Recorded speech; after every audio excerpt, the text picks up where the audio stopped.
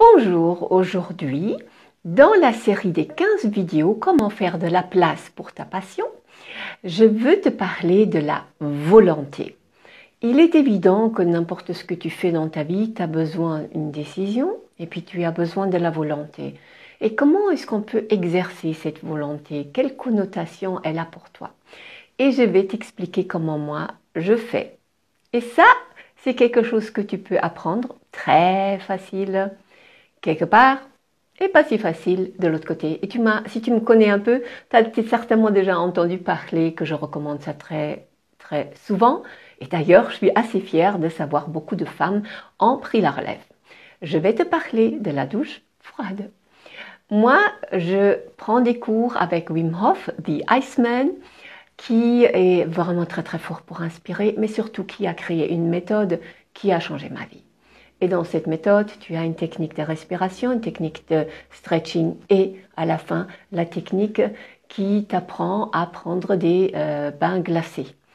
Et euh, ça, c'est vraiment quelque chose de inimaginable. J'ai détesté le froid avant, il fallait pas m'en parler et maintenant j'aime le froid. Surtout, je vais pas dire comme ça, j'aime ce que le froid fait avec moi ou physique ou avec mon corps.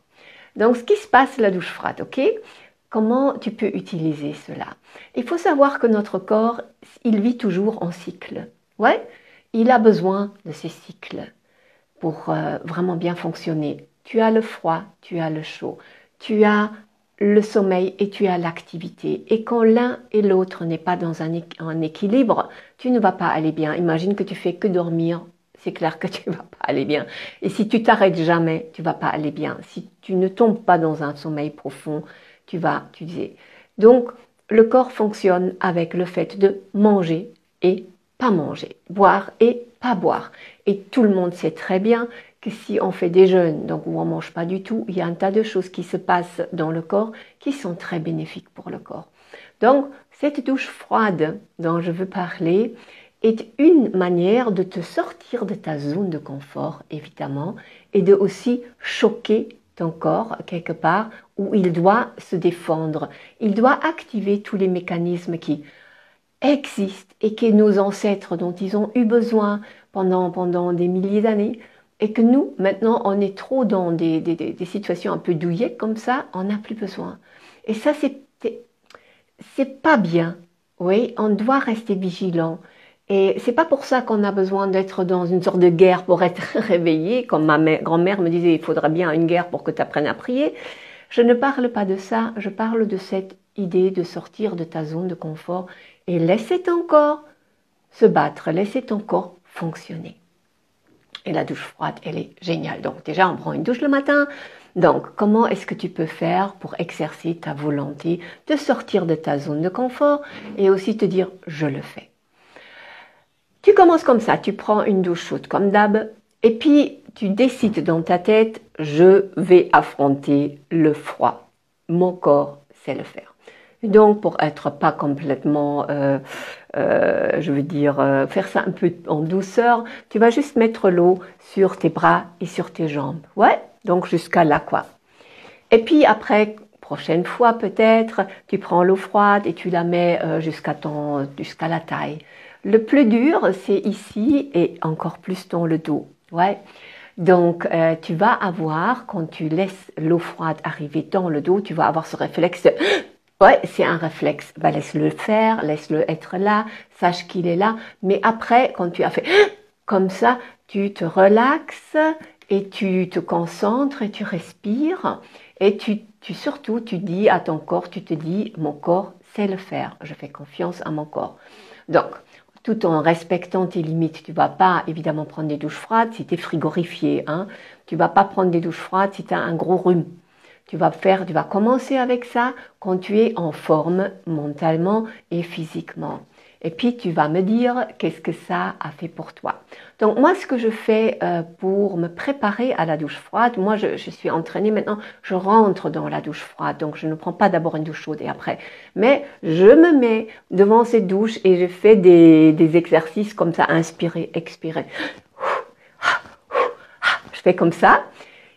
Et ça me permet de me centrer.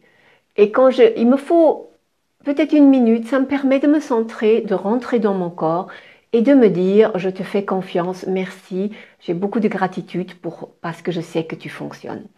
Et de rentrer dans cette douche froide, je, ne peux pas dire que j'aime le fait de rentrer dans cette douche froide, hein. mais je sais combien ça me fait du bien aussi mentalement parce qu'après ça, je vais être fière de moi et après ça, je vais être fière de mon corps. Et avant ça, je sens cette gratitude pour ce corps qui fonctionne. Et puis physiquement, le froid, il a un impact sur euh, ton corps qui est vraiment très intéressant. Je vais te mettre ici le lien vers la méthode Wim où tu peux lire scientifiquement où ils ont expliqué qu'est-ce qui se passe. Donc il y a déjà une chose qui est claire, donc comme j'ai parlé de la zone de confort, c'est que tous tes vaisseaux sanguins ils vont se contracter. Et euh, tu as plein de petits muscles ou des fibres, je ne sais pas comment tu vas appeler ça, autour de tes vaisseaux sanguins. Et quand ça se contracte, eh bien, ça soutient et ça aide quand même ton cœur euh, à, pouvoir euh, chasser tout ce sang.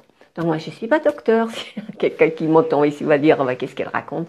Mais ça, c'est euh, ce que j'ai lu à propos de cet effet de la douche froide qui est connu depuis longtemps. Il y a un médecin allemand qui s'appelle Dr Knapp qui euh, soignait déjà les gens avec cette différence entre le chaud et le froid. Et le chaud et le froid, tu connais les saunas, ça fonctionne aussi avec ça.